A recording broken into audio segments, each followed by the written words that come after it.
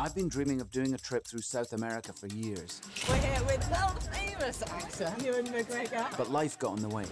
And now I've decided to do the trip with my best friend, Charley Boorman. You've got to look after the relationships in your life, and if you don't, you're just you're losing something that's very important. We'll ride 13,000 miles from the southern tip of Argentina all the way to Los Angeles. 150 miles every day is long way to go. And if that wasn't enough of a challenge, we wanted to see if we could do it on electric motorcycles. I think it's the future electric. You'd be the first people to go this distance, charging as you go. Oh my god, it's so great, isn't it? Oh, Uh-oh. mm, the power's just gone. Uh, this is us on the road, Charley. This is us on the way, man. I'm gonna get attacked by this dog.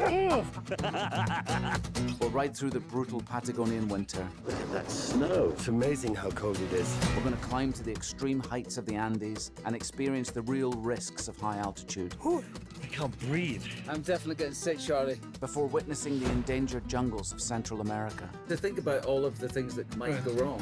I think we're lost. Is this a road? Roads might be a little bit. Wow, wow, I'm falling off.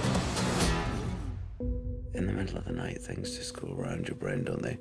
I have real fear. I don't want anyone to get hurt. They just roll around. I'm not going to make it. Towing somebody on a bike is dangerous. What if the bikes don't work?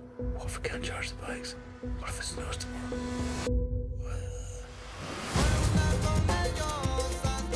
I really enjoy the unknown of it all, just coming across the people we come across, Buenos dias. Amazing, the people. Learning about the cultures and seeing how people keep their traditions alive puts you in touch with yourself in the world in a way. I'm an actor. What films have you made? Did anybody see Star Wars? No. I don't think so. None of these kids have seen anything I've done. Long way up, two guys lost in South America.